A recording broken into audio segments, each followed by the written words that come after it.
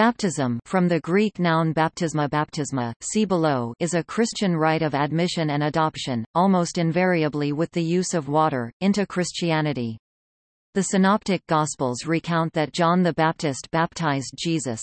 Baptism is considered a sacrament in most churches, and as an ordinance in others. Baptism is also called christening, although some reserve the word christening for the baptism of infants. It has also given its name to the Baptist churches and denominations.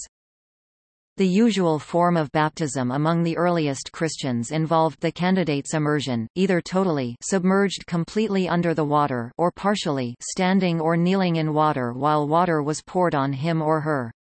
John the Baptist's use of a deep river for his baptizing suggests immersion. The fact that he chose a permanent and deep river suggests that more than a token quantity of water was needed, and both the preposition in the Jordan and the basic meaning of the verb baptize probably indicate immersion.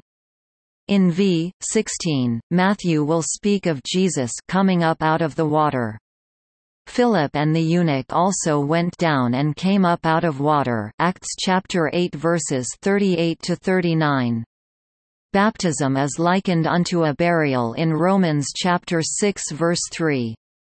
Quote, dip is translated from bapto, the traditional depiction in Christian art of John the Baptist pouring water over Jesus' head may therefore be based on later Christian practice.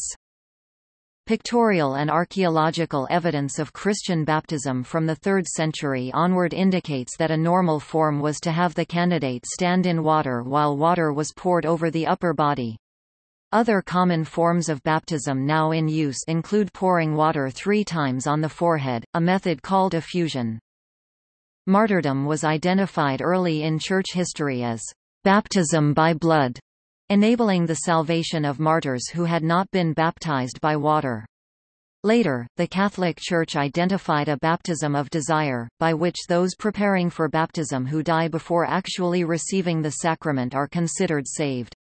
As evidenced also in the common Christian practice of infant baptism, Christians universally regarded baptism as in some sense necessary for salvation, until Huldrych Zwingli (1484–1531) denied its necessity in the 16th century. Quakers and the Salvation Army practice baptism with the Holy Spirit instead of baptism with water. Among denominations that practice baptism by water, differences occur in the manner and mode of baptizing and in the understanding of the significance of the rite. Most Christians baptize, "...in the name of the Father, and of the Son, and of the Holy Spirit." Following the Great Commission, but some baptize in Jesus' name only. Much more than half of all Christians baptize infants, many others regard only believers' baptism as true baptism. The term, baptism, has also been used metaphorically to refer to any ceremony, trial, or experience by which a person is initiated, purified, or given a name.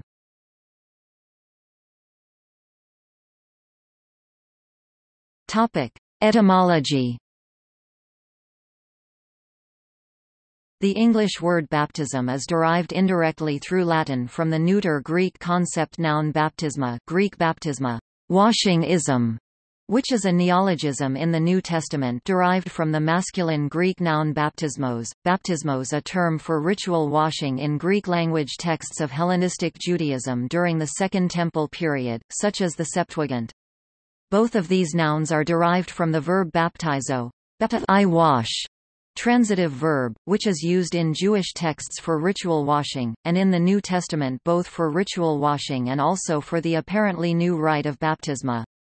The Greek verb bapto, dip, from which the verb baptizo is derived, is in turn hypothetically traced to a reconstructed Indo-European root asterisk gabh, dip. The Greek words are used in a great variety of meanings.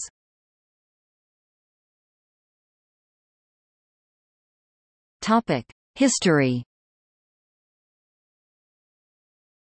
Baptism has similarities to Tevilah, a Jewish purification ritual of immersing in water, which is required for, among other things, conversion to Judaism, but which differs in being repeatable, while baptism is to be performed only once. In fact, the modern Hebrew term for baptism is Christian Tevilah.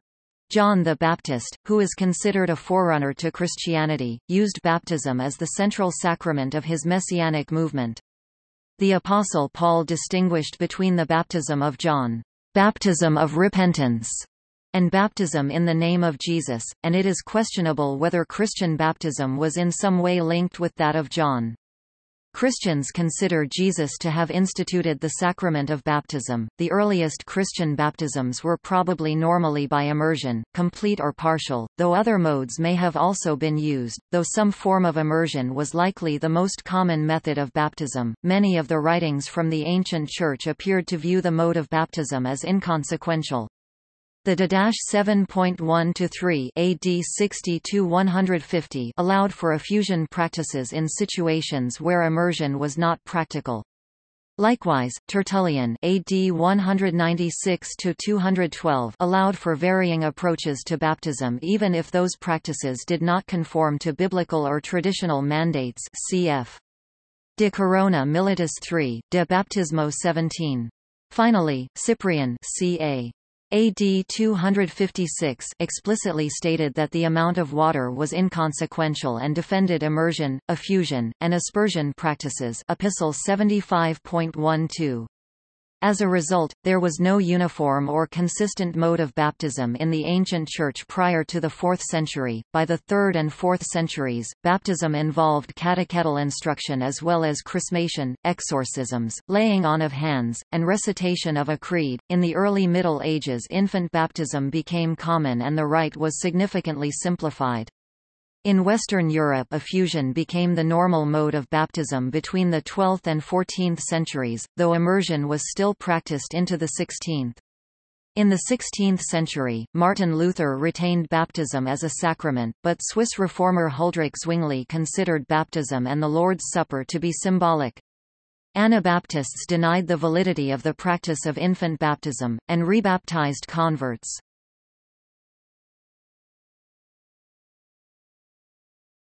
Topic: Mode and manner. Baptism is practiced in several different ways. Aspersion is the sprinkling of water on the head, and effusion is the pouring of water over the head. The word immersion is derived from late Latin immersio, a noun derived from the verb immergere in into plus mergere dip in relation to baptism, some use it to refer to any form of dipping, whether the body is put completely under water or is only partly dipped in water, they thus speak of immersion as being either total or partial. Others, of the Anabaptist belief, use immersion to mean exclusively plunging someone entirely under the surface of the water. The term immersion is also used of a form of baptism in which water is poured over someone standing in water, without submersion of the person. On these three meanings of the word immersion, see immersion baptism. When immersion is used in opposition to submersion, it indicates the form of baptism in which the candidate stands or kneels in water and water is poured over the upper part of the body.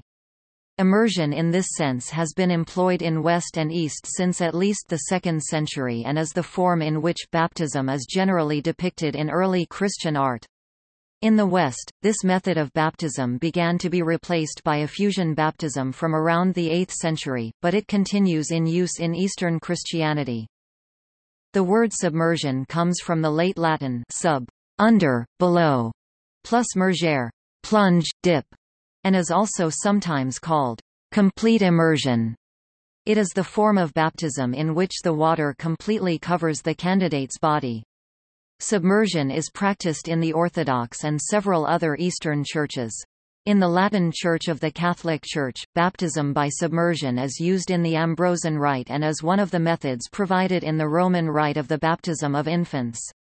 It is seen as obligatory among some groups that have arisen since the Protestant Reformation, such as Baptists. Topic. Meaning of the Greek verb baptizein The Greek-English lexicon of Liddell and Scott gives the primary meaning of the verb baptizein, from which the English verb baptize is derived, as dip, plunge, and gives examples of plunging a sword into a throat or an embryo and for drawing wine by dipping a cup in the bowl. For New Testament usage it gives two meanings. Baptize, with which it associates the Septuagint mention of Naaman dipping himself in the Jordan River, and perform ablutions, as in Luke chapter 11 verse 38, although the Greek verb baptizein does not exclusively mean dip, plunge or immerse it is used with literal and figurative meanings such as sink, disable, overwhelm, go under, overborne, draw from a bowl. Lexical sources typically cite this as a meaning of the word in both the Septuagint and the New Testament. While it is true that the basic root meaning of the Greek words for baptize and baptism is immerse, immersion, it is not true that the words can simply be reduced to this meaning, as can be seen from Mark chapter 10 verses 38 to 39, Luke chapter 12 verse 50, Matthew chapter 3 verse 11, Luke chapter 3 verse 16 and Corinthians 10 to 2. Two passages in the Gospels indicate that the verb baptizein did not always indicate submersion. The first is Luke chapter 11 verse 38, which tells how a Pharisee, at whose house Jesus ate, was astonished to see that he did not first wash, ebaptize the aorist passive of baptizo. Literally, was baptized before dinner. This is the passage that Liddell and Scott cites as an instance of the use of baptizo to mean perform ablutions. Jesus' omission of this action is similar to that of his disciples. Then came to Jesus scribes and Pharisees, which were of Jerusalem, saying, Why do thy disciples transgress the tradition of the elders, for they wash nipto not their hands when they eat bread? The other Gospel passage pointed to is, The Pharisees, less than pre greater than slash pre greater than dot dot dot do not eat unless they wash. Nipto the ordinary word for washing their hands thoroughly observing the tradition of the elders and when they come from the marketplace they do not eat unless they wash themselves literally. Baptize themselves. Baptisantai passive or middle voice of baptizo Scholars of various denominations claim that these two passages show that invited guests, or people returning from market, would not be expected to immerse themselves, baptize themselves, totally in water but only to practice the partial immersion of dipping their hands in water or to pour water over them, as is the only form admitted by present Jewish custom. In the second of the two passages, it is actually the hands that are specifically identified as washed Mark chapter 7 verse 3, not the entire person, for whom the verb used as baptizomai, literally be baptized, be immersed Mark chapter 7 verse 4, a fact obscured by English versions that use wash as a translation of both verbs. Zodhiates concludes that the washing of the hands was done by immersing them. The Liddell Scott Jones Greek-English Lexicon 1996 cites the other passage Luke chapter 11 verse 38 as an instance of the use of the verb baptizein to mean perform ablutions, not submerge. References to the cleaning of vessels which use baptizo also refer to immersion. As already mentioned, the lexicographical work of Zodhiates says that, in the second of these two cases, the verb baptizein indicates that, after coming from the market, the Pharisees washed their hands by immersing them in collected water. Balz and Schneider understand the meaning of baptizo, used in place of ranasuntai sprinkle, to be the same as bapto, to dip or immerse, a verb used of the partial dipping of a morsel held in the hand into wine or of a finger into spilled blood. A possible additional use of the verb baptizein to relate to ritual washing is suggested by Peter Leithart 2007, who suggests that Paul's phrase else what shall they do who are baptized for the dead, relates to Jewish ritual washing. In Jewish Greek the verb baptizein baptized has a wider reference than just baptism and in Jewish context primarily applies to the masculine noun baptismos ritual washing. The verb baptizein occurs four times in the Septuagint in the context of ritual washing, baptismos, Judith cleansing herself from menstrual impurity, Naaman washing seven times to be cleansed from leprosy, etc. Additionally, in the New Testament only, the verb baptizein can also relate to the neuter noun baptisma baptism, which is a neologism unknown in the Septuagint and other pre-Christian Jewish texts. This broadness in the meaning of baptizein is reflected in English Bible's rendering wash, where Jewish ritual washing is meant. For example, Mark chapter 7 verse 4 states that the Pharisees except they wash Greek baptize, they do not eat, and baptize where baptisma, the new Christian rite, is intended.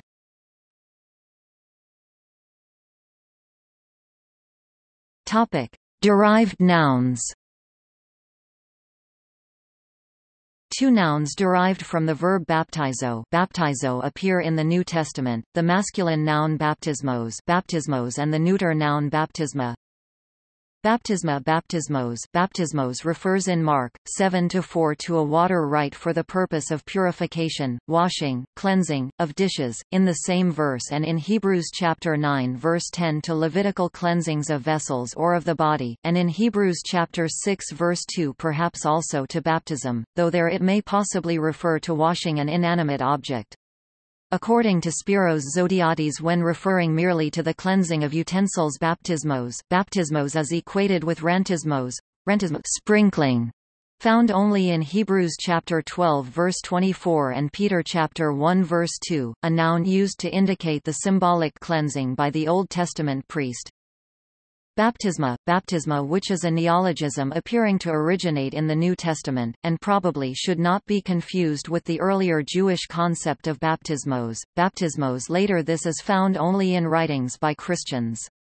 In the New Testament, it appears at least 21 times, 13 times with regard to the rite practiced by John the Baptist three times with reference to the specific Christian rite, four times if account is taken of its use in some manuscripts of Colossians chapter 2 verse 12, where, however, it is most likely to have been changed from the original baptismos than vice versa.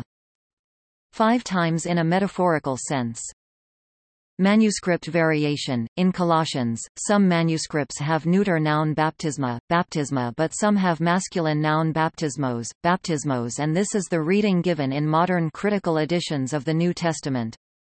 If this reading is correct, then this is the only New Testament instance in which baptismos, baptismos is clearly used of Christian baptism, rather than of a generic washing, unless the opinion of some is correct that Hebrews chapter 6 verse 2 may also refer to Christian baptism. The feminine noun baptisis, along with the masculine noun baptismos both occur in Josephus Antiquities J. AJ 18.5.2 relating to the murder of John the Baptist by Herod. This feminine form is not used elsewhere by Josephus, nor in the New Testament. A Christian baptism is administered in one of the following forms, performing the action either once or thrice. Topic: Apparel Until the Middle Ages, most baptisms were performed with the candidates naked, as is evidenced by most of the early portrayals of baptism some of which are shown in this article, and the early Church Fathers and other Christian writers. Deaconesses helped female candidates for reasons of modesty, typical of these is Cyril of Jerusalem who wrote, On the Mysteries of Baptism, in the 4th century c. 350 AD. Do you not know, that so many of us as were baptized into Jesus Christ, were baptized into his death? Etc. Less than pre greater than slash pre greater than dot dot dot dot for you are not under the law, but under grace. 1. Therefore, I shall necessarily lay before you the sequel of yesterday's lecture, that you may learn of what those things, which were done by you in the inner chamber, were symbolic. 2. As soon, then, as you entered, you put off your tunic, and this was an image of putting off the old man with his deeds. Having stripped yourselves, you were naked, in this also imitating Christ, who was stripped naked on the cross, and by his nakedness put off from himself the principalities and powers, and openly triumphed over them on the tree. For since the adverse powers made their lair in your members, you may no longer wear that old garment, I do not at all mean this visible one, but the old man, which waxes corrupt in the lusts of deceit. May the soul which has once put him off, never again put him on, but say with the spouse of Christ in the Song of Songs, I have put off my garment, how shall I put it on? O wondrous thing! You were naked in the sight of all, and were not ashamed, for truly ye bore the likeness of the first formed Adam, who was naked in the garden, and was not ashamed. 3. Then, when you were stripped, you were anointed with exorcised oil, from the very hairs of your head to your feet, and were made partakers of the good olive tree, Jesus Christ. 4. After these things, you were led to the holy pool of divine baptism, as Christ was carried from the cross to the sepulchre which is before our eyes. And each of you was asked, whether he believed in the name of the Father, and of the Son, and of the Holy Ghost, and you made that saving confession, and descended three times into the water, and ascended again, here also hinting by a symbol at the three days' burial of Christ. And at the self-same moment you were both dying and being born. The symbolism is threefold. 1. Baptism is considered to be a form of rebirth by water and the Spirit. The nakedness of baptism the second birth paralleled the condition of one's original birth. For example, St. John Chrysostom calls the baptism «Lochion», i.e., giving birth, and «new way of creation» less than pre greater than slash pre greater than dot dot dot from water and spirit to John speech 25 2 and later elaborates for nothing perceivable was handed over to us by Jesus, but with perceivable things, all of them however conceivable. This is also the way with the baptism, the gift of the water is done with a perceivable thing, but the things being conducted, i.e., the rebirth and renovation, are conceivable. For, if you were without a body, he would hand over these bodiless gifts as naked gifts to you. But because the soul is closely linked to the body, he hands over the perceivable ones to you with conceivable things. Chrysostom to Matthew, speech 82, 4, c. 390 AD 2. The removal of clothing represented the image of putting off the old man with his deeds. As per Cyril, above, so the stripping of the body before for baptism represented taking off the trappings of sinful self, so that the new man which is given by Jesus, can be put on. 3. As St. Cyril again asserts above, as Adam and Eve in Scripture were naked, innocent and unashamed in the Garden of Eden, nakedness during baptism was seen as a renewal of that innocence and state of original sinlessness. Other parallels can also be drawn, such as between the exposed condition of Christ during his crucifixion, and the crucifixion of the old man of the repentant sinner in preparation for baptism. Changing customs and concerns regarding modesty probably contributed to the practice of permitting or requiring the baptismal candidate to either retain their undergarments as in many Renaissance paintings of baptism such as those by Da Vinci, Tintoretto, Van Scorel, Masaccio, de Witt and others or to wear, as is almost universally the practice today, baptismal robes.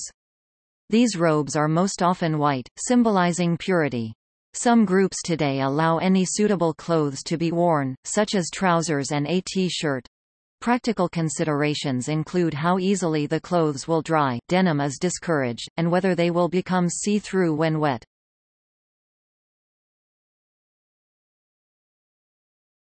Topic. Meaning and effects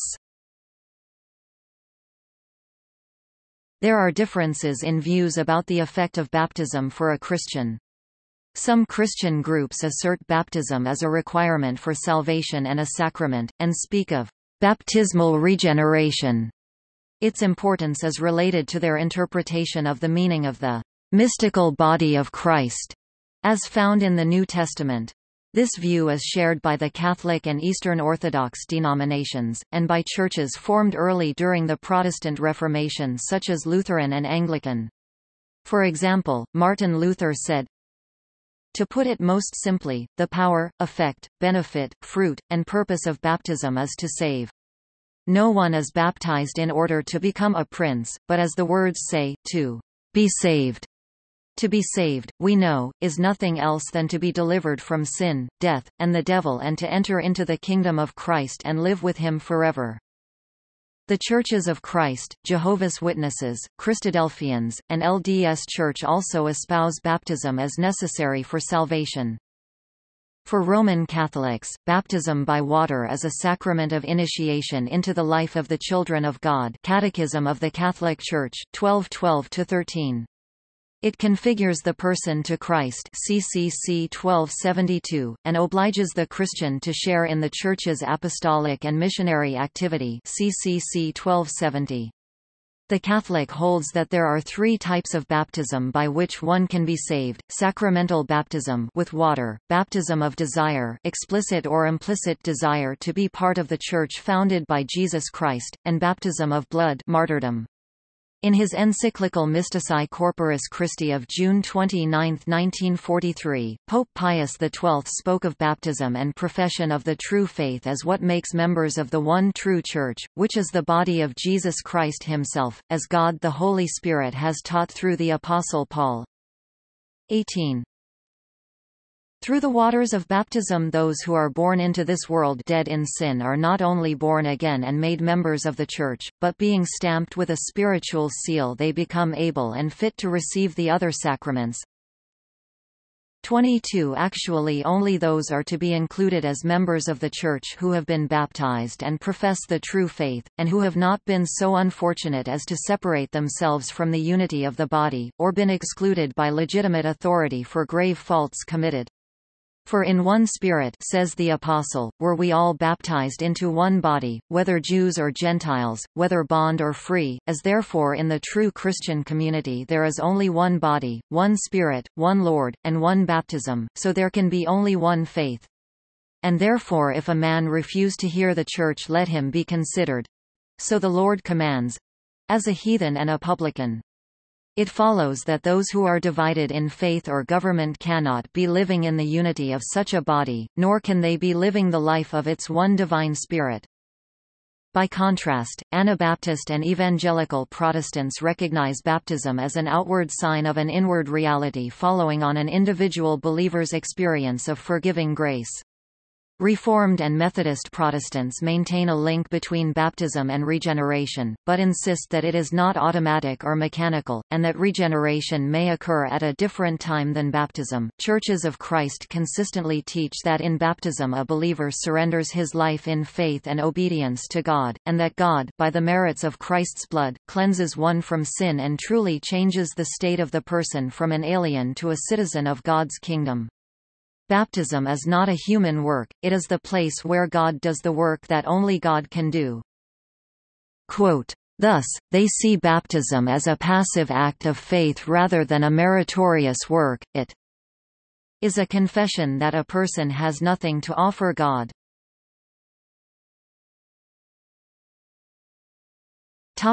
Christian traditions The Liturgy of Baptism for Catholics, Eastern Orthodox, Lutheran, Anglican, and Methodist makes clear reference to baptism as not only a symbolic burial and resurrection, but an actual supernatural transformation, one that draws parallels to the experience of Noah and the passage of the Israelites through the Red Sea divided by Moses. Thus, baptism is literally and symbolically not only cleansing, but also dying and rising again with Christ. Catholics believe baptism is necessary to cleanse the taint of original sin, and so commonly baptize infants. The Eastern Churches Eastern Orthodox Church and Oriental Orthodoxy also baptize infants on the basis of texts, such as Matthew chapter 19 verse 14, which are interpreted as supporting full church membership for children. In these denominations, baptism is immediately followed by chrismation and communion at the next divine liturgy, regardless of age. Orthodox likewise believe that baptism removes what they call the ancestral sin of Adam. Anglicans believe that baptism is also the entry into the Church and therefore allows them access to all rights and responsibilities as full members, including the privilege to receive Holy Communion. Most Methodists and Anglicans agree that it also cleanses the taint of what in the West is called original sin, in the East ancestral sin. Eastern Orthodox Christians usually insist on complete threefold immersion as both a symbol of death and rebirth into Christ, and as a washing away of sin. Latin Church Catholics generally baptize by effusion pouring, Eastern Catholics usually by submersion, or at least partial immersion. However, submersion is gaining in popularity within the Latin Catholic Church. In newer church sanctuaries, the baptismal font may be designed to expressly allow for baptism by immersion. Anglicans baptize by submersion, immersion, effusion or sprinkling. According to evidence which can be traced back to at latest about the year 200, sponsors or godparents are present at baptism and vow to uphold the Christian education and life of the baptized. Baptists argue that the Greek word baptizo originally meant, to immerse. They interpret some biblical passages concerning baptism as requiring submersion of the body in water. They also state that only submersion reflects the symbolic significance of being buried, and raised with Christ. Baptist churches baptize in the name of the Trinity the Father, the Son, and the Holy Spirit. However, they do not believe that baptism is necessary for salvation, but rather that it is an act of Christian obedience. Some full gospel Charismatic churches such as Oneness Pentecostals baptize only in the name of Jesus Christ, citing Peter's preaching baptism in the name of Jesus as their authority.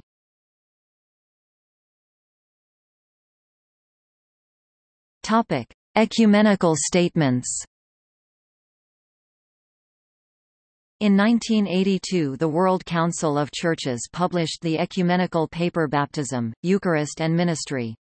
The preface of the document states, those who know how widely the churches have differed in doctrine and practice on baptism, Eucharist and ministry, will appreciate the importance of the large measure of agreement registered here.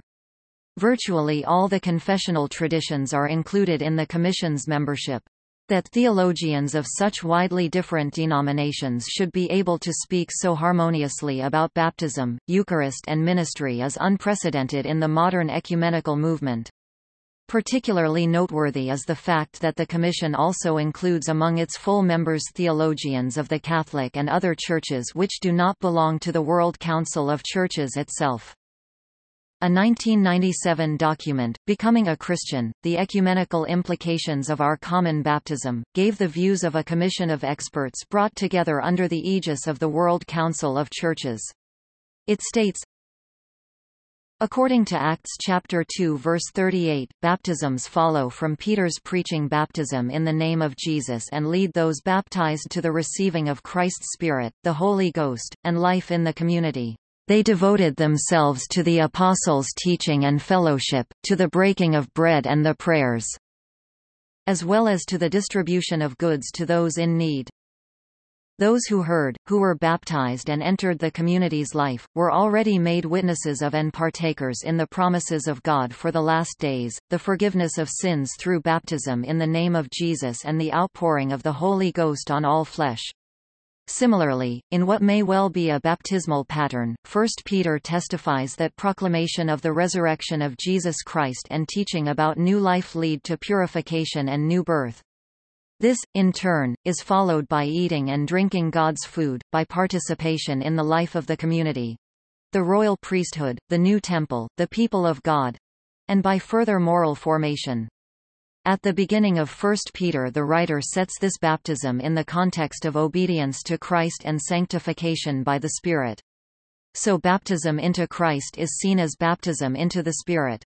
In the fourth Gospel Jesus' discourse with Nicodemus indicates that birth by water and Spirit becomes the gracious means of entry into the place where God rules.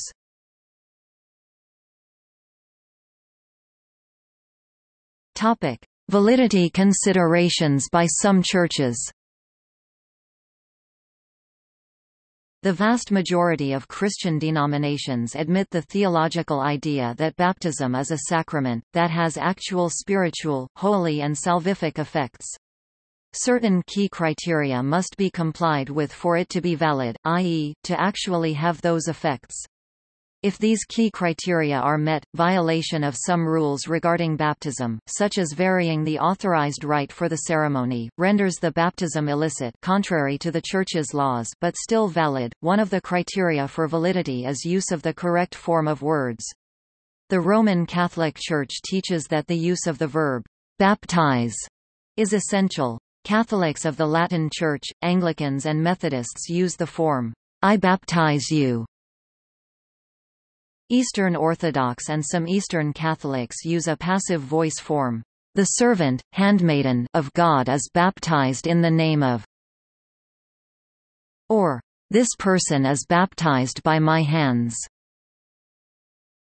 Use of the Trinitarian formula, in the name of the Father, and of the Son, and of the Holy Spirit, is also considered essential, thus these churches do not accept as valid baptisms of non-Trinitarian churches such as Oneness Pentecostals. Another essential condition is use of water. A baptism in which some liquid that would not usually be called water, such as wine, milk, soup or fruit juice was used would not be considered valid. Another requirement is that the celebrant intends to perform baptism.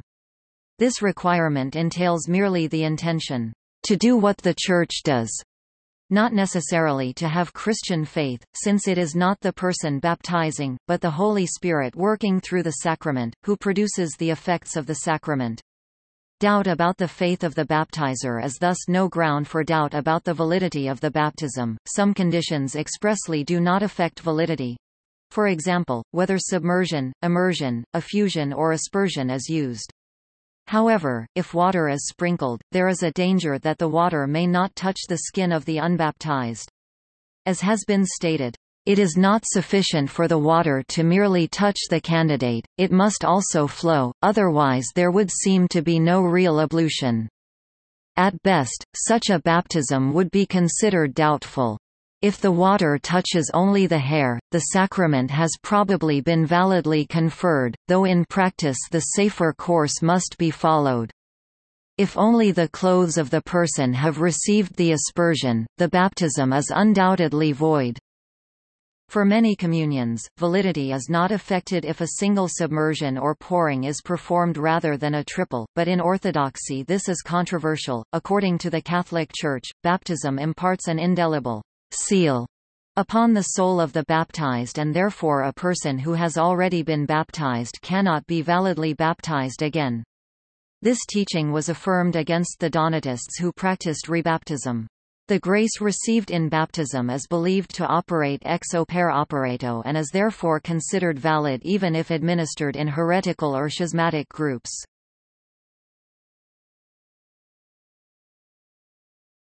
Topic: Recognition by other denominations. The Catholic, Lutheran, Anglican, Presbyterian and Methodist churches accept baptism performed by other denominations within this group as valid, subject to certain conditions, including the use of the Trinitarian formula. It is only possible to be baptized once, thus people with valid baptisms from other denominations may not be baptized again upon conversion or transfer. For Roman Catholics, this is affirmed in the Canon Law 864, in which it is written that e very person not yet baptized and only such a person is capable of baptism. Such people are accepted upon making a profession of faith and, if they have not yet validly received the sacrament, rite of confirmation or chrismation, by being confirmed. Specifically, Methodist theologians argued that since God never abrogated a covenant made and sealed with proper intentionality, rebaptism was never an option, unless the original baptism had been defective by not having been made in the name of the Trinity. In some cases it can be difficult to decide if the original baptism was in fact valid. If there is doubt, conditional baptism is administered, with a formula on the lines of if you are not yet baptized, I baptize you. In the still recent past, it was common practice in the Roman Catholic Church to baptize conditionally almost every convert from Protestantism because of a perceived difficulty in judging about the validity in any concrete case. In the case of the major Protestant churches, agreements involving assurances about the manner in which they administer baptism has ended this practice, which sometimes continues for other groups of Protestants. The Catholic Church has always recognized the validity of baptism in the churches of Eastern Christianity, but it has explicitly denied the validity of the baptism conferred in the LDS Church. Practice in the Eastern Orthodox Church for converts from other communions is not uniform. However, generally baptisms performed in the name of the Holy Trinity are accepted by the Orthodox Christian Church. If a convert has not received the sacrament mysterion of baptism, he or she must be baptized in the name of the Holy Trinity before they may enter into communion with the Orthodox Church. If he has been baptized in another Christian confession other than Orthodox Christianity his previous baptism is considered retroactively filled with grace by chrismation or, in rare circumstances, confession of faith alone as long as the baptism was done in the name of the Holy Trinity Father, Son and Holy Spirit. The exact procedure is dependent on local canons and is the subject of some controversy. Oriental Orthodox churches recognize the validity of baptisms performed within the Eastern Orthodox Communion. Some also recognize baptisms performed by Catholic churches.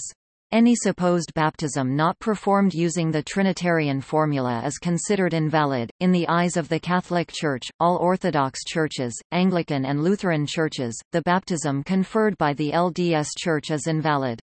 An article published together with the official declaration to that effect gave reasons for that judgment, summed up in the following words. The baptism of the Catholic Church and that of the Church of Jesus Christ of Latter-day Saints differ essentially, both for what concerns faith in the Father, Son and Holy Spirit, in whose name baptism is conferred, and for what concerns the relationship to Christ who instituted it. The LDS Church stresses that baptism must be administered by one having proper authority, consequently, the Church does not recognize the baptism of any other church as valid. Jehovah's Witnesses do not recognize any other baptism occurring after 1914 as valid, as they believe that they are now the one true Church of Christ, and that the rest of Christendom is false religion. Topic: Officiator. There is debate among Christian churches as to who can administer baptism. Some claim that the examples given in the New Testament only show apostles and deacons administering baptism. Ancient Christian churches interpret this as indicating that baptism should be performed by the clergy except in extremis, i.e., when the one being baptized is in immediate danger of death. Then anyone may baptize, provided, in the view of the Eastern Orthodox Church, the person who does the baptizing is a member of that church, or, in the view of the Catholic Church, that the person, even if not baptized, intends to do what the Church does in administering the rite. Many Protestant churches see no specific prohibition in the biblical examples and permit any believer to baptize another.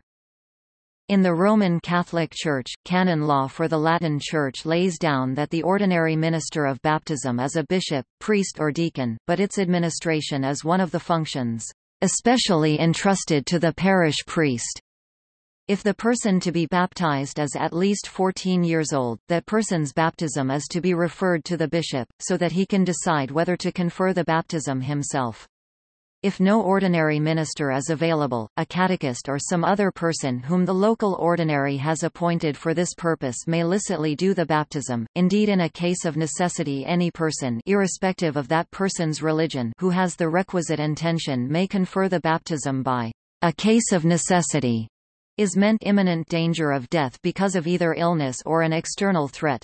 The requisite intention is, at the minimum level, the intention to do what the Church does, through the rite of baptism. In the Eastern Catholic Churches, a deacon is not considered an ordinary minister. Administration of the sacrament is reserved to the parish priest or to another priest to whom he or the local hierarch grants permission, a permission that can be presumed if in accordance with canon law. However, in case of necessity, baptism can be administered by a deacon or, in his absence or if he is impeded, by another cleric, a member of an institute of consecrated life, or by any other Christian faithful, even by the mother or father, if another person is not available who knows how to baptize.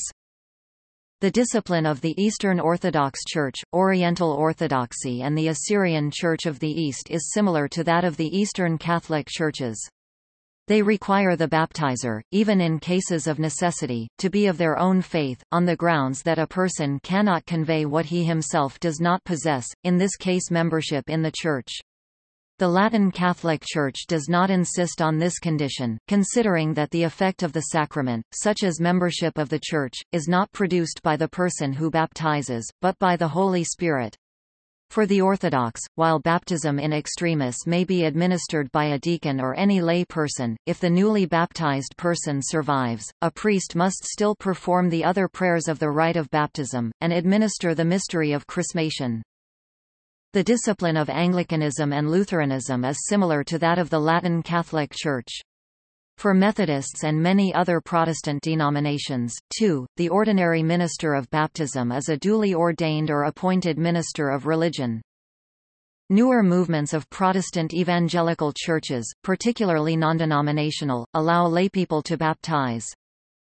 In the LDS Church, only a man who has been ordained to the Aaronic priesthood holding the priesthood office of priest or higher office in the Melchizedek priesthood may administer baptism. A Jehovah's Witnesses baptism is performed by a dedicated male adherent. Only in extraordinary circumstances would a dedicated baptizer be unbaptized see section Jehovah's Witnesses.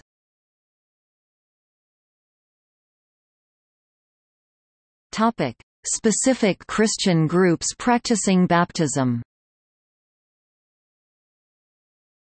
Anabaptists and Baptists recognize only believers' baptism or adult baptism. Baptism is seen as an act identifying one as having accepted Jesus Christ as Savior.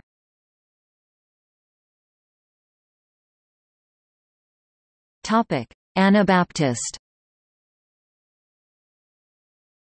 Early Anabaptists were given that name because they re-baptized persons who they felt had not been properly baptized, having received infant baptism, sprinkling. The traditional form of Anabaptist baptism was pouring or sprinkling, the form commonly used in the West in the early 16th century when they emerged. Since the 18th century immersion and submersion became more widespread. Today all forms of baptism can be found among Anabaptist. Baptism memorializes the death, burial and resurrection of Jesus. Rom 6 Baptism does not accomplish anything in itself, but is an outward personal sign or testimony that the person's sins have already been washed away by the blood of Christ's cross. It is considered a covenantal act, signifying entrance into the new covenant of Christ.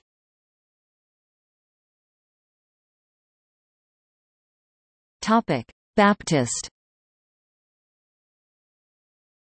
For the majority of Baptists, Christian baptism is the immersion of a believer in water in the name of the Father, the Son, and the Holy Spirit.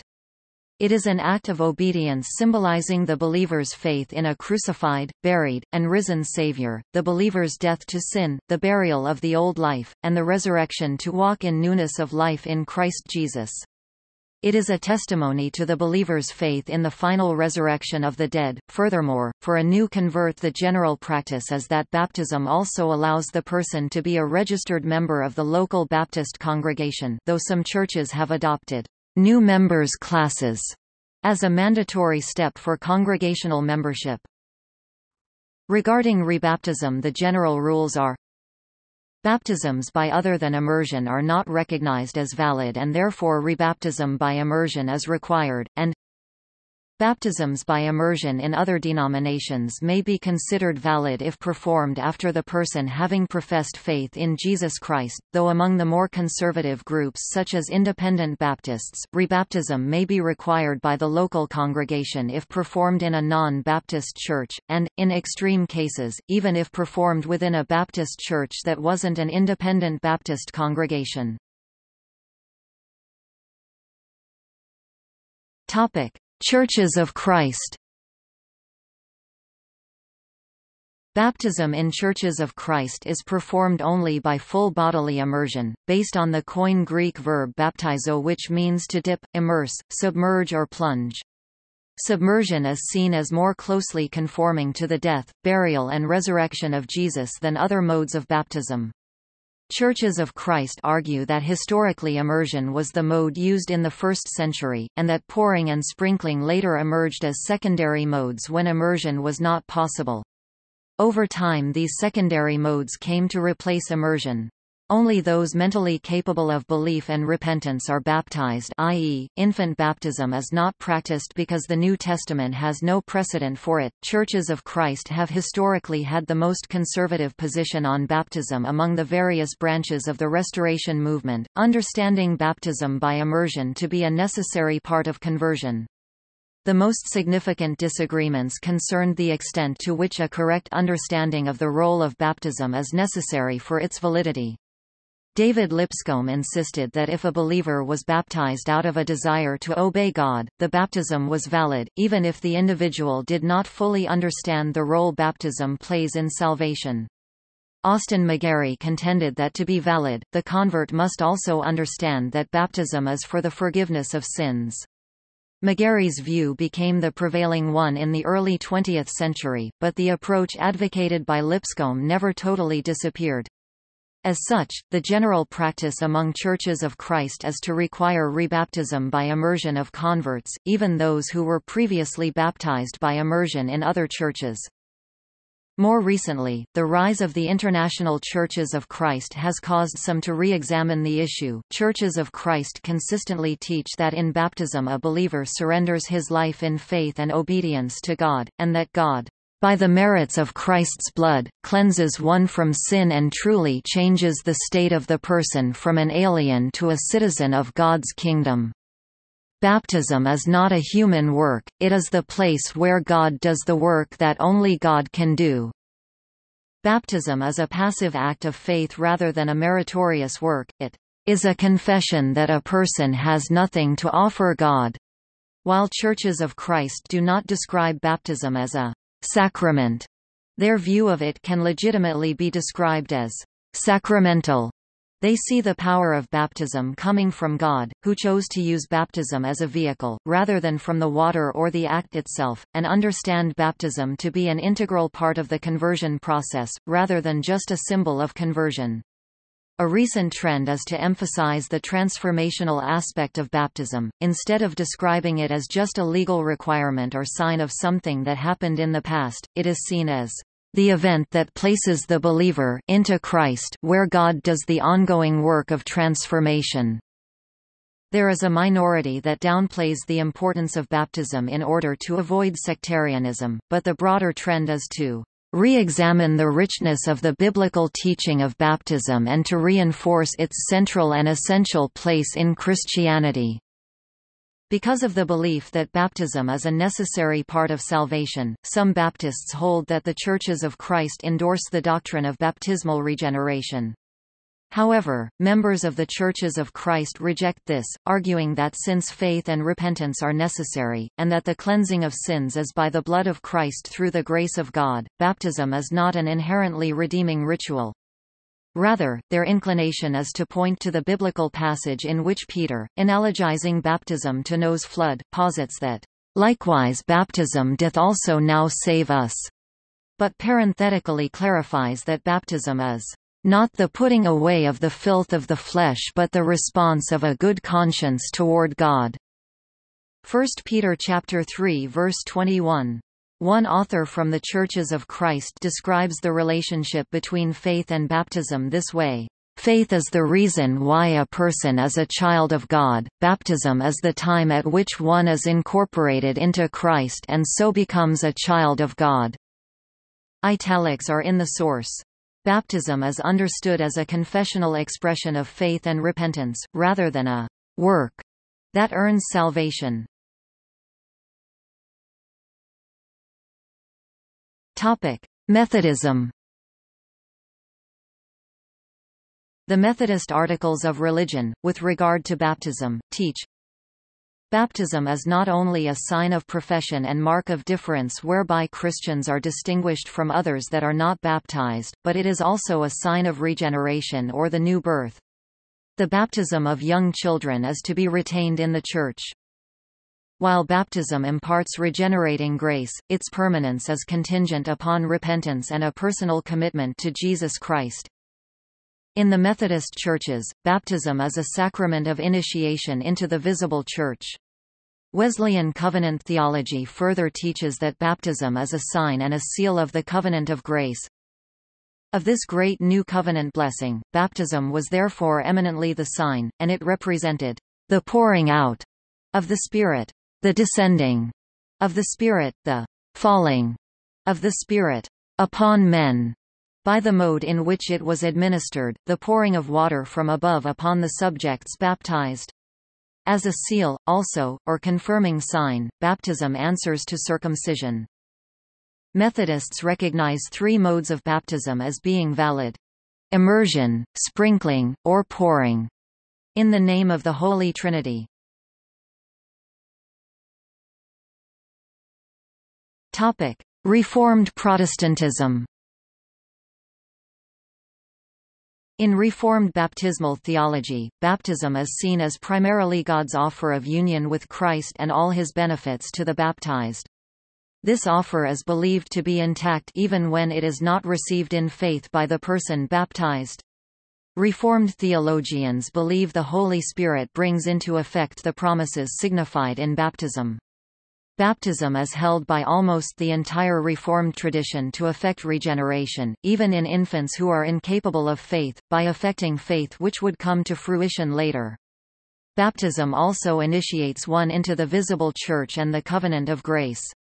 Baptism is seen as a replacement of circumcision, which is considered the rite of initiation into the covenant of grace in the Old Testament. Reformed Christians believe that immersion is not necessary for baptism to be properly performed, but that pouring or sprinkling are acceptable.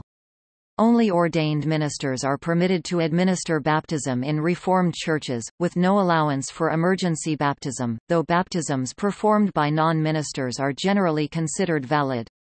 Reformed churches, while rejecting the baptismal ceremonies of the Roman Catholic Church, accept the validity of baptisms performed with them and do not rebaptize.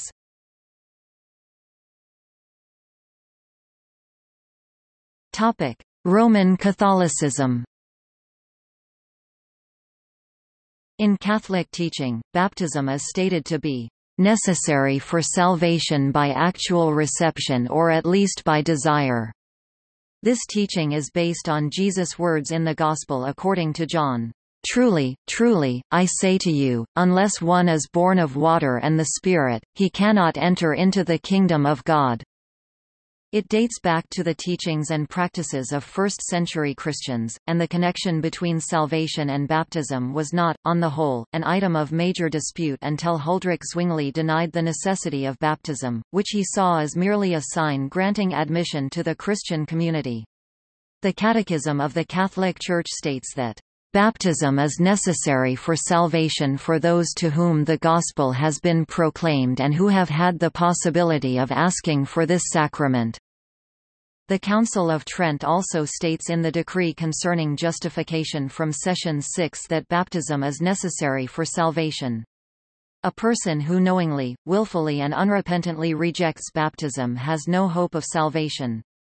However, if knowledge is absent, those also can attain to salvation who through no fault of their own do not know the gospel of Christ or his church, yet sincerely seek God and moved by grace strive by their deeds to do his will as it is known to them through the dictates of conscience.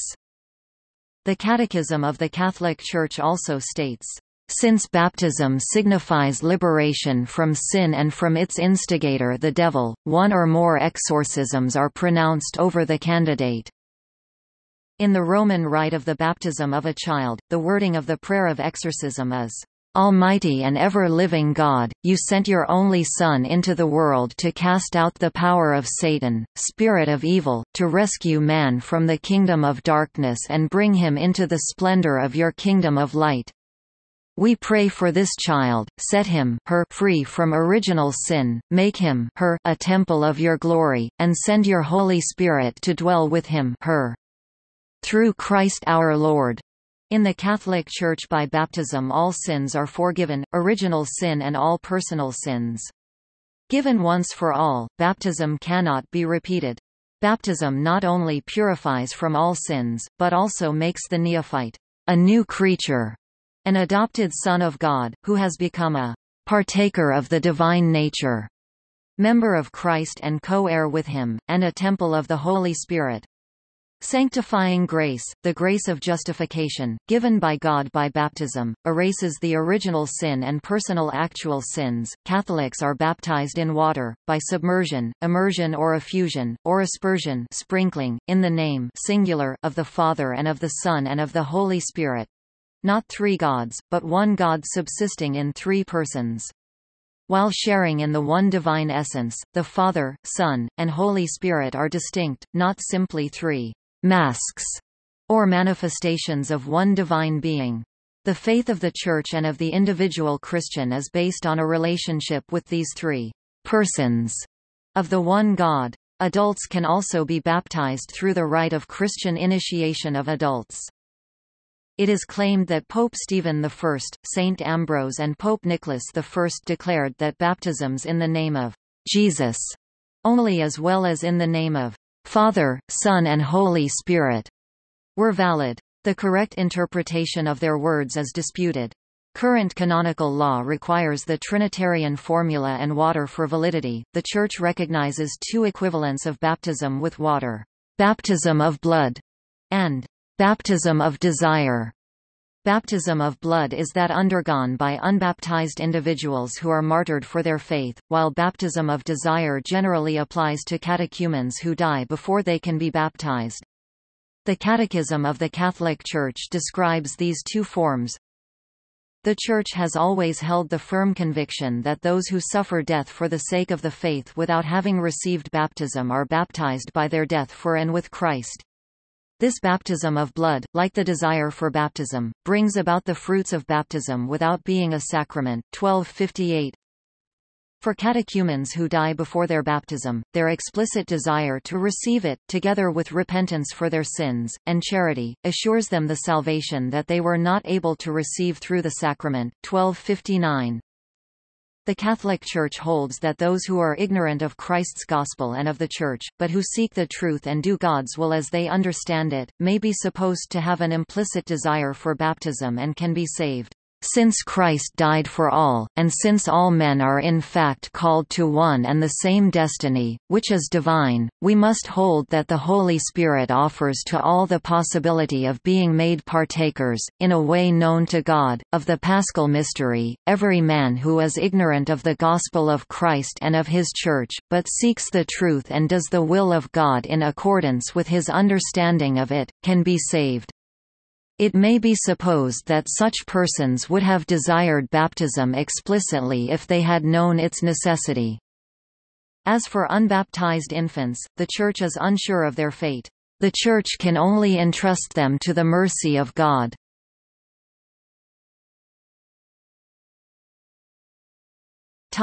Eastern Orthodoxy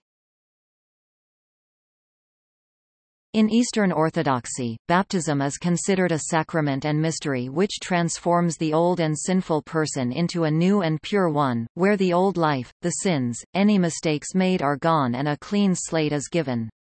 In Greek and Russian Orthodox traditions, it is taught that through baptism a person is united to the body of Christ by becoming an official member of the Orthodox Church. During the service, the Orthodox priest blesses the water to be used. The catechumen the one baptized is fully immersed in the water three times in the name of the Trinity. This is considered to be a death of the old man by participation in the crucifixion and burial of Christ, and a rebirth into new life in Christ by participation in his resurrection. Properly a new name is given, which becomes the person's name. Babies of Orthodox families are normally baptized shortly after birth. Older converts to Orthodoxy are usually formally baptized into the Orthodox Church, though exceptions are sometimes made. Those who have left Orthodoxy and adopted a new religion, if they return to their Orthodox roots, are usually received back into the Church through the sacrament of chrismation. Properly and generally, the mystery of baptism is administered by bishops and other priests, however, in emergencies any Orthodox Christian can baptize.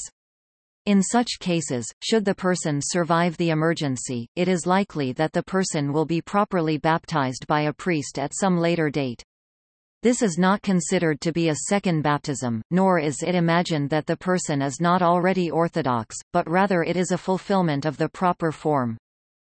The service of baptism in Greek Orthodox and other Eastern Orthodox churches has remained largely unchanged for over 1,500 years.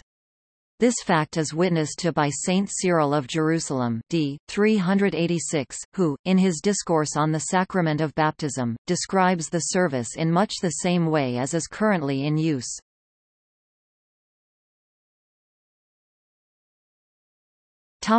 Jehovah's Witnesses The Christian Congregation of Jehovah's Witnesses believes that baptism should be performed by complete immersion submersion in water and only when an individual is old enough to understand its significance. They believe that water baptism is an outward symbol that a person has made an unconditional dedication through Jesus Christ to do the will of God.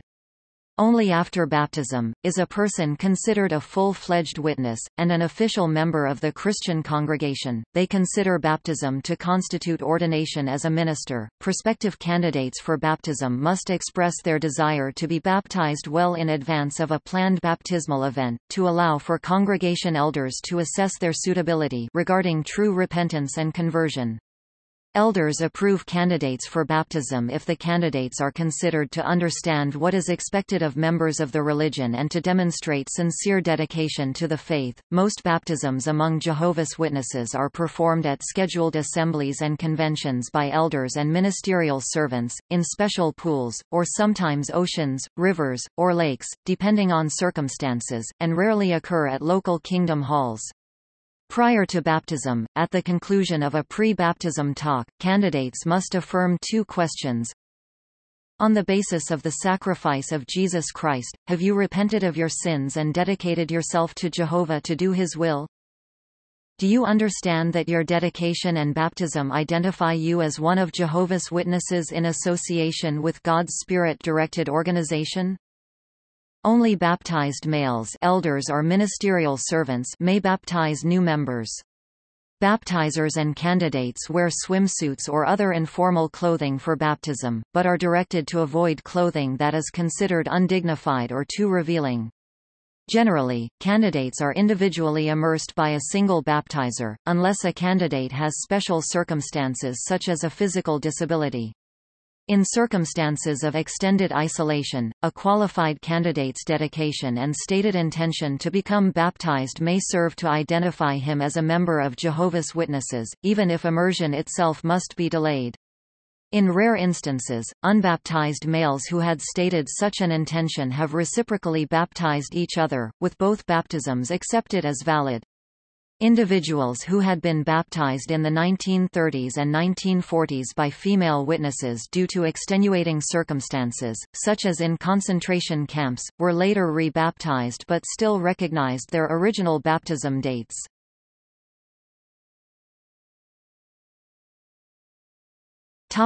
Church of Jesus Christ of Latter-day Saints In the Church of Jesus Christ of Latter-day Saints LDS Church, baptism is recognized as the first of several ordinances rituals of the Gospel. In Mormonism, baptism has the main purpose of remitting the sins of the participant. It is followed by confirmation, which inducts the person into membership in the Church and constitutes a baptism with the Holy Spirit. Latter-day Saints believe that baptism must be by full immersion, and by a precise ritualized ordinance, if some part of the participant is not fully immersed, or the ordinance was not recited verbatim, the ritual must be repeated.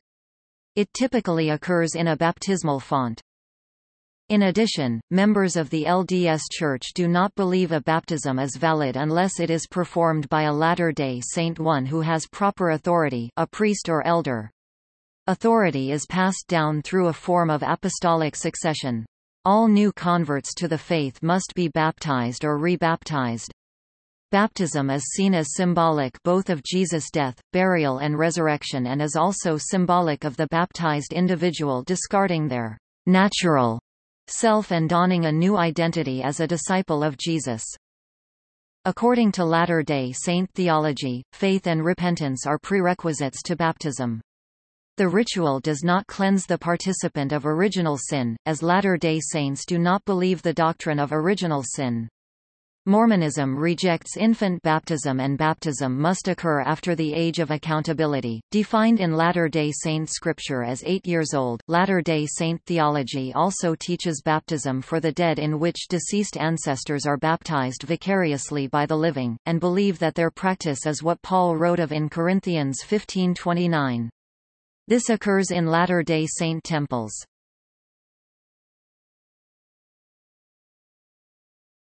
Topic: Non-practitioners.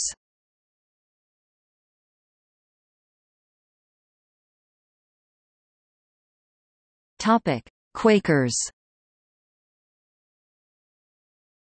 Quakers members of the Religious Society of Friends do not believe in the baptism of either children or adults with water, rejecting all forms of outward sacraments in their religious life.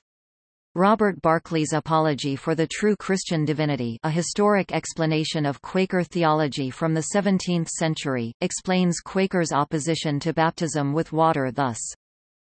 I indeed baptize you with water unto repentance, but he that cometh after me is mightier than I, whose shoes I am not worthy to bear, he shall baptize you with the Holy Ghost and with fire.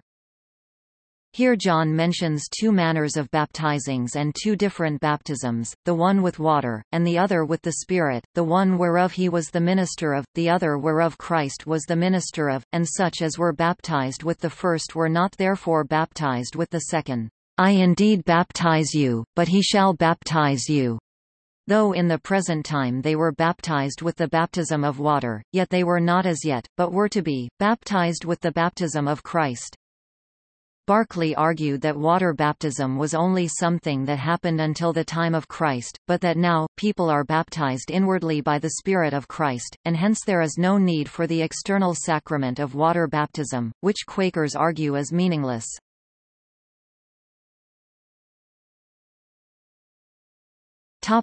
Salvation Army The Salvation Army does not practice water baptism, or indeed other outward sacraments. William Booth and Catherine Booth, the founders of the Salvation Army, believed that many Christians had come to rely on the outward signs of spiritual grace rather than on grace itself. They believed what was important was spiritual grace itself. However, although the Salvation Army does not practice baptism, they are not opposed to baptism within other Christian denominations.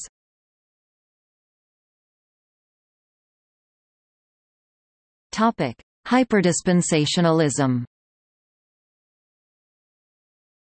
There are some Christians termed hyperdispensationalists mid-Acts dispensationalism who accept only Paul's epistles as directly applicable for the Church today.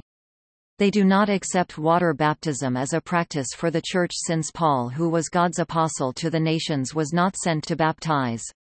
Ultradispensationalists Acts 28 dispensationalism who do not accept the practice of the Lord's Supper, do not practice baptism because these are not found in the prison epistles. Both sects believe water baptism was a valid practice for covenant Israel. Hyperdispensationalists also teach that Peter's gospel message was not the same as Paul's. Hyperdispensationalists assert the Great Commission and its baptism is directed to early Jewish believers, not the Gentile believers of mid-Acts or later. The baptism of Acts chapter 2 verses 36 to 38 is Peter's call for Israel to repent of complicity in the death of their Messiah, not as a gospel announcement of atonement for sin. A later doctrine revealed by Paul, water baptism found early in the book of Acts is, according to this view, now supplanted by the one baptism foretold by John the Baptist. Others make a distinction between John's prophesied baptism by Christ with the Holy Spirit and the Holy Spirit's baptism of the believer into the body of Christ, the latter being the one baptism for today. The one baptism for today, it is asserted, is the baptism of the Holy Spirit of the believer into the body of Christ Church, many in this group also argue that John's promised baptism by fire is pending, referring to the destruction of the world by fire. John, as he said, baptized with water, as did Jesus's disciples to the early, Jewish Christian Church.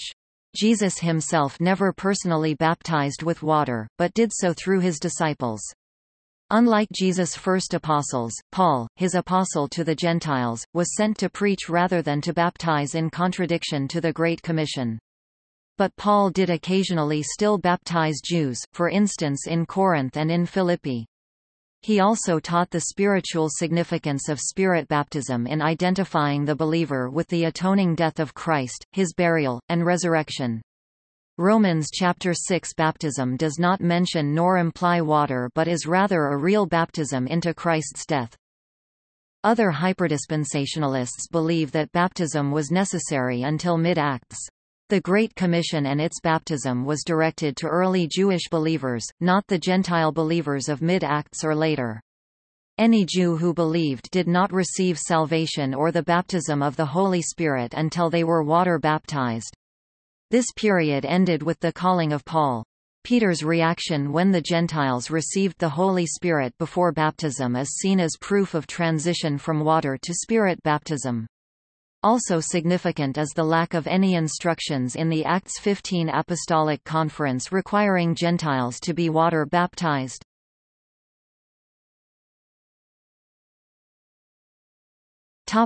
Debaptism. Most Christian churches see baptism as a once-in-a-lifetime event that can be neither repeated nor undone. They hold that those who have been baptized remain baptized, even if they renounce the Christian faith by adopting a non-Christian religion or by rejecting religion entirely. But some other organizations and individuals are practicing debaptism.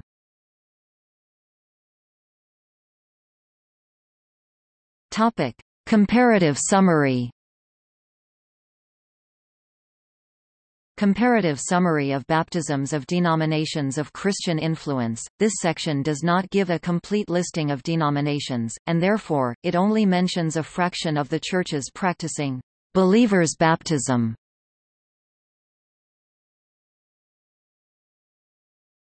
Topic: Other initiation ceremonies. Many cultures practice or have practiced initiation rites, with or without the use of water, including the ancient Egyptian, the Hebraic, Jewish, the Babylonian, the Mayan, and the Norse cultures. The modern Japanese practice of miyamairi is such a ceremony that does not use water. In some, such evidence may be archaeological and descriptive in nature, rather than a modern practice.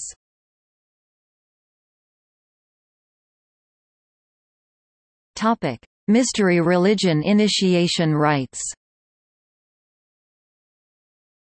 Apuleius, a 2nd-century Roman writer, described an initiation into the mysteries of Isis. The initiation was preceded by a normal bathing in the public baths and a ceremonial sprinkling by the priest of Isis, after which the candidate was given secret instructions in the temple of the goddess. The candidate then fasted for ten days from meat and wine, after which he was dressed in linen and led at night into the innermost part of the sanctuary, where the actual initiation, the details of which were secret, took place. On the next two days, dressed in the robes of his consecration, he participated in feasting.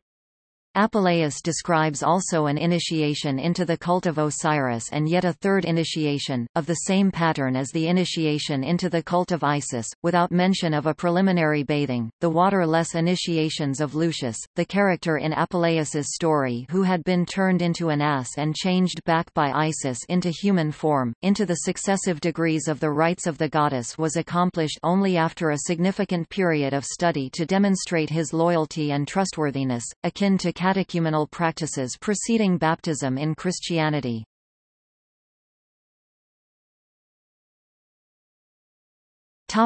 Gnostic Catholicism and Thelema.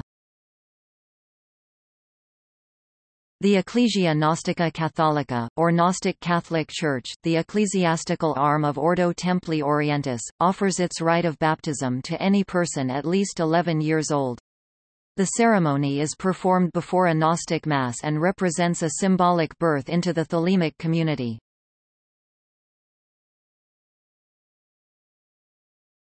Topic: Baptism of objects. The word baptism or Christening is sometimes used to describe the inauguration of certain objects for use. Topic: Boats and ships. Baptism of ships, at least since the time of the Crusades, rituals have contained a blessing for ships. The priest begs God to bless the vessel and protect those who sail in. The ship is usually sprinkled with holy water. Topic: Church bells. The name baptism of bells has been given to the blessing of musical, especially church, bells, at least in France, since the 11th century. It is derived from the washing of the bell with holy water by the bishop, before he anoints it with the oil of the infirm without and with chrism within. A fuming censer is placed under it and the bishop prays that these sacramentals of the church may, at the sound of the bell, put the demons to flight, protect from storms, and call the faithful to prayer. Topic: Dolls. Baptism of dolls. The custom of dolly dunking was once a common practice in parts of the United Kingdom, particularly in Cornwall where it has been revived in recent years.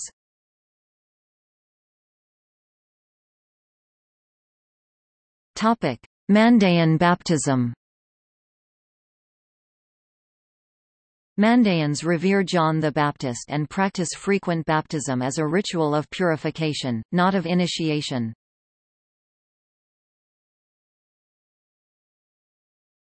Topic. See also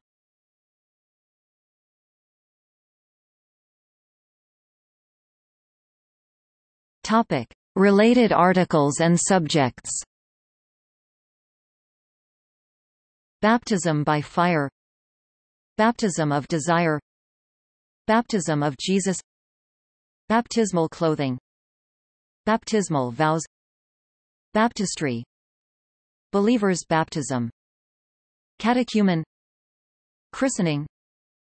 Chrismation. Christifideles Conditional baptism. Consolamentum Disciple Christianity. Divine filiation Emergency baptism. Infant baptism.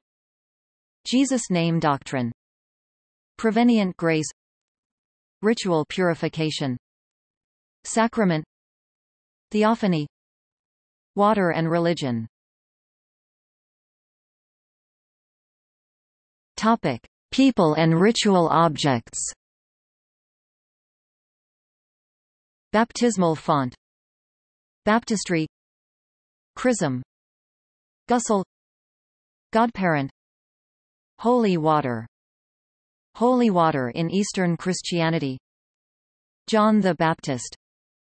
Mikveh. Misogi. Notes